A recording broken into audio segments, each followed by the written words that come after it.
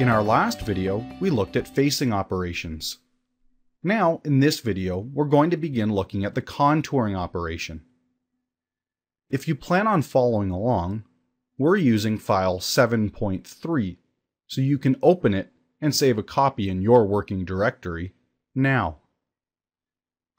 Before we go ahead and create our contouring operation, I'd like to quickly point out that I've already faced this part, and when I faced it, I actually used a half inch end mill, as we're going to be using that same half inch end mill to contour our part.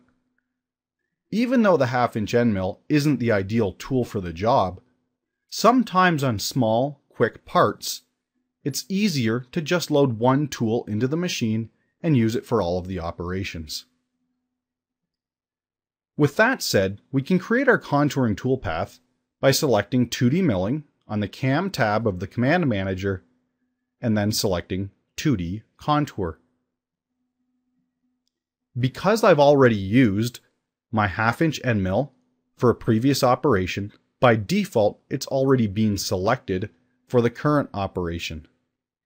If it wasn't, of course we could select Library to select the appropriate tool. The next thing we need to do is define our geometry. Unlike the facing operation, there is no default selection for geometry in a contour.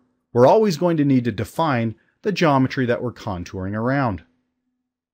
So with the model selection box active, select the front bottom contour closest to the right hand side. It does matter which side of the contour you select because it defines what side of that edge we're going to be contouring around. However, if you accidentally select the wrong side, we can use the reverse button to reverse the direction and switch the side of the contour we're machining on. I will quickly note, if multiple contours are selected, it's important that the right contour is selected before selecting reverse. Moving on to the Heights tab, we can define how far down the contour is going to go. The top of stock is going to be the ideal location for the contour to begin.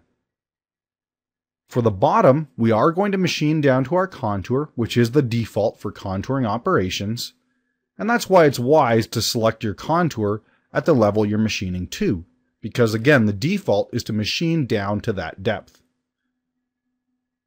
Additionally, the concept for creating this part is we're going to machine it out of a thick block of stock, flip it over, and machine off the back side. So to make sure we don't have any misalignments when we flip the part, it's a good idea to machine the contour extra deep. So we're going to use an offset on the bottom of negative 20 thousandths of an inch. This forces our contour to cut down below the part. With the basic options of our contour set, let's go ahead and select OK, and the toolpath is generated. At this point, you can save your file and move on to the next video where we're going to focus in on some of the specific aspects of the contouring toolpath.